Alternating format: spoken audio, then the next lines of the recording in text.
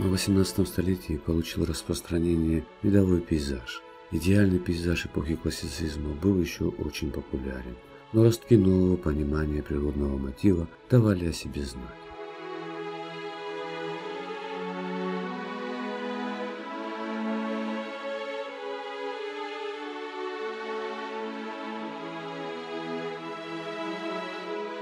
В отличие от многих своих современников, Сильвестр Щедрин сдержанно относился к господствующему идеализирующему направлению в искусстве. Во время своего пребывания на юге Италии, в Неаполе, художник познакомился с творчеством мастеров школы Базилиппо. Живописцы обращались к изображению неприукрашенной естественной природы, отказавшись от идеальных форм классического пейзажа.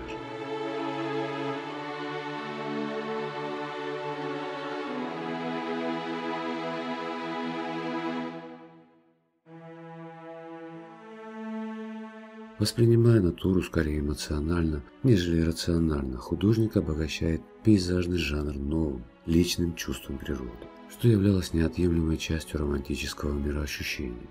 Его целиком захватила южная приморская природа.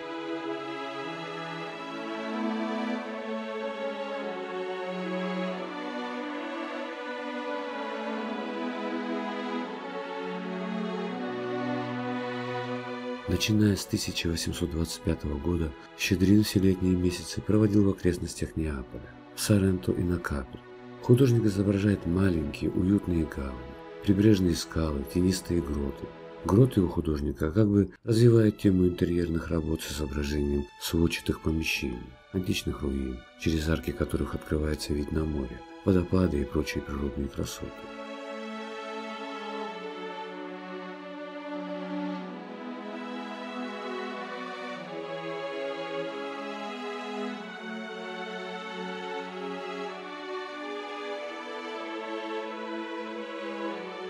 В картине «Грот Матриманию» изображение строится на сопоставлении тенистого пространства грота и залитого светом морского вида, написанного в прохладных голубовато-жемчужных тонах. В этом присутствует философский подтекст. Это живой образ романтического двоемирия, микрокосм и макрокосм, подчеркивает неразрывную связь человека и мироздания.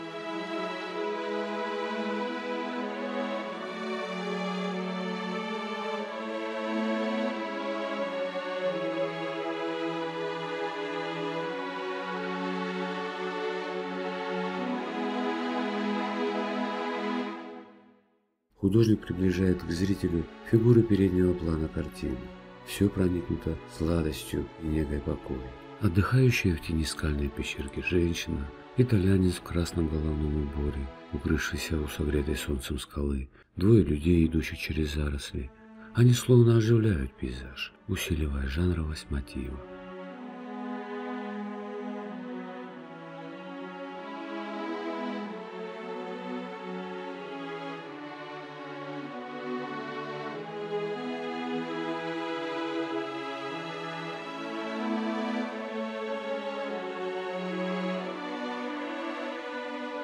Работа на натуре изменяет и понимание художником цвета.